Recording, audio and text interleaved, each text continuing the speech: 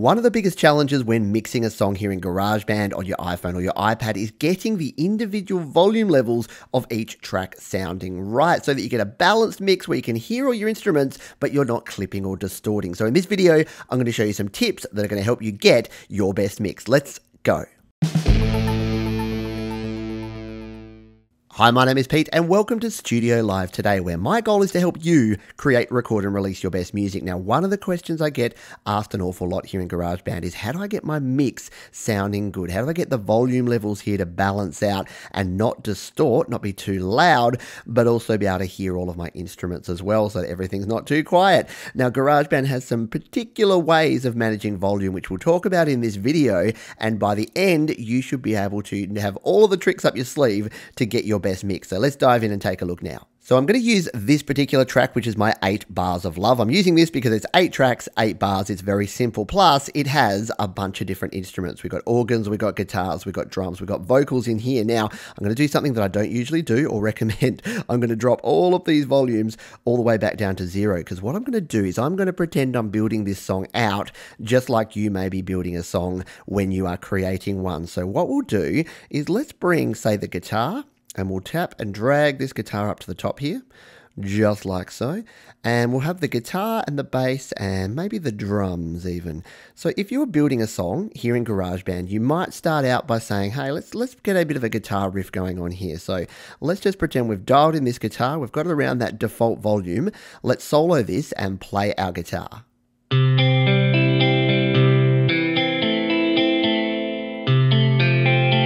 Now, you're probably listening to that guitar going, yep, that's sounding about right. The challenge here is that that's right for an individual solo guitar, but are we are we creating a solo guitar track? No, we're creating a track here that's going to have seven other tracks. And if you're doing 16 tracks or 32 tracks, this becomes even more important. The biggest mistake I see folks make is they have their volume there or even right up here. What you actually want to do is when you start layering in your instruments, most of my volumes sit around about 50%. So let's drop this to 50% and hit play. So you can still hear it clearly there, but you can see here the waveform is not bouncing all the way up here. You're not seeing this. So it's staying quite low. Now, this is okay for your guitar. What about something like drums? Let's just say that we were starting with our drum kit. If we turn this drum kit all the way up to the top here, where I see a lot of folks have their drums, let's play this back.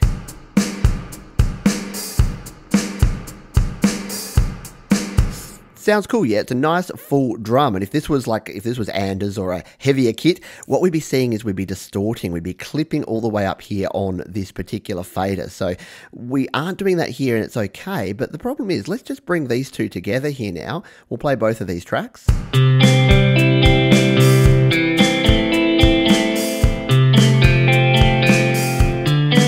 Doesn't look bad. Yeah, you're looking at these meters, you're going, Pete, this is okay. We, we, we can do this. Let's just keep building it. All right, let's add in a bass. So we'll add in our bass here and say we've put in our bass and now we're ready to add this. Let's play all of these now at their max volume.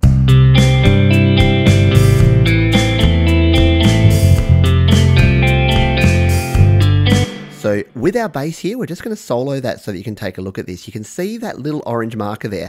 Now that is our clip indicator. That means that our volume is going into the red. It is going to distort and it's not going to sound good at our mix. So let's just play this back so you can see it again. This is our individual bass track.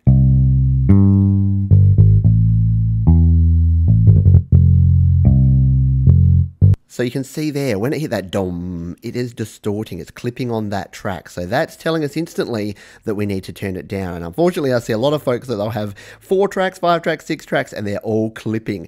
Now, these are digital instruments, which means that they're not an analog source. So it doesn't matter as much if you're clipping because GarageBand will sort of help you out and make sure that it reduces the volume for you. But something like your vocals that you're recording here or anything with an audio recorder track, it really will clip. And it's a great habit to get into to reduce your volumes down. So let's put these to the sort of volume that I would mix these at if I was starting a track here. So we'll play back just the drums, guitar and bass and see if we can get a balanced mix.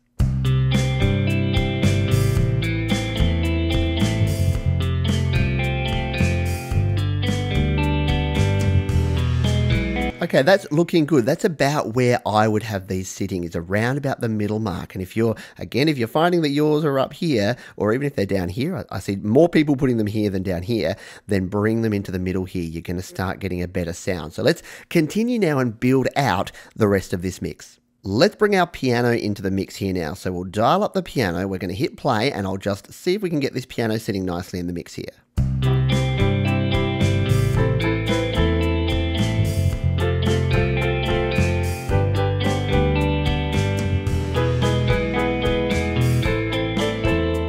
Okay, that's starting to sound good now. I've turned the bass down a little bit. You might have noticed there. And what I tend to do is the drums and the bass, sometimes you will need to tweak those as you go along. So don't be afraid to just move things around as you start mixing. Now, the other thing I want to introduce here is our panning, because as well as our volume, a good way to balance out your track is to pan your instrument. So let's tap on the mixer icon here.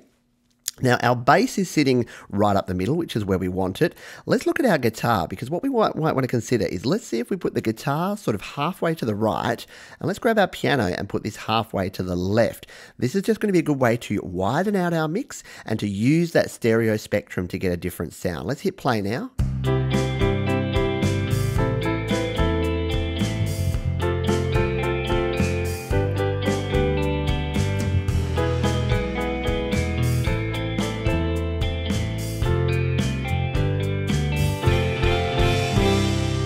Very cool. So that's sitting about where I'd want it to be now in the mix there. Right, it's time to bring in our vocals. So let's add in my lead vocal. This can be the toughest thing to get sitting right in the mix with your volume. So we'll come back to the start here. I'm going to dial in my lead vocal and see if I can get it to sit nicely complementing these instruments. Eight little bars to tell you how much I love you. Ooh, yes, it's only little bars to tell you how much. So you can see there that I'm already starting to clip. I'm already getting to that zone where I'm clipping on my vocals. So what that's telling me is I probably need to just turn down some of these instruments. I'll just give them a little tweak down to make some room for my vocal. And this is why layering up your mix like this is so important. Now keep in mind that it doesn't really matter if you're a bit on the low side err on the side of low as opposed to too high with your volume because what GarageBand will do is something called auto normalization. I've covered this in a previous video which I'll link up the top and in the description but what that basically means is if your volume is too low, if it's below 0 dB, when you export it, it will actually bring up that volume. So it will bring up the volume of all these instruments to make sure that the overall master volume is going to be around about that 0 decibel so it's competitive with other music that you're going to be listening to. So anyway, let's continue on with this this one. We'll hit play again. I've only got eight little bars to tell you how much I love you. Ooh, yes, it's only eight little bars. So that's starting to sound about right. So you do want your vocals generally in more modern music, and even though this is an old 60s style song, you do want your vocals to be a bit louder. So don't be surprised if your vocals are sitting above all of your instruments, because your vocal is often your main instrument. All right, let's bring in some of these backing vocals. Now I believe, yes, I've already panned these to the left and to the right. Let's go a little bit more aggressive this time. Let's pan it hard left and hard right. That's a great way to have some backing vocals to give you some real stereo width in a mix. So let's just grab our vocal and our backing vocal and listen to these in solo first just to get the balance right of the three vocals together. I've only got eight little bars to tell you how much I love you. Ooh, yes, it's only eight little bars. All right, that seems to be about the right volume to complement these. So we'll come back to the start, we'll unsolo those, and let's hear them back in our mix. I've only got eight little bars to tell you how much I love you. Sounding pretty good. All right, let's bring in this organ because this is sort of like the pièce de résistance of this song. We just want a little bit of organ on here, and the organ itself sounds like this.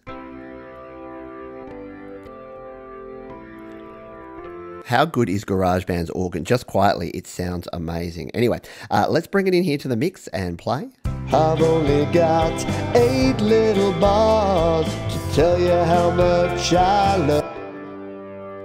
Ooh, yes, it's only eight little bars to tell you how much I care. We are starting to get there, yeah? So it's sounding like it's a pretty cohesive mix. So what you're noticing here is that nothing is kind of at the same level, but nothing is really up there. Nothing is right up here pushing the boundary. None of our little uh, meters here are clipping or getting even close to clipping. Now, if you're on the iPad, you will actually have a master meter up the top. You'll actually be able to see how much your master volume is getting up there. On the iPhone here, we don't have that. But again, it's okay, especially if you keep everything low. So let's just play this one more time all the way through and just do any final tweaks to our mix. I've only got eight little bars to tell you how much I love you. Ooh, yes, it's only eight little bars to tell you how much I care.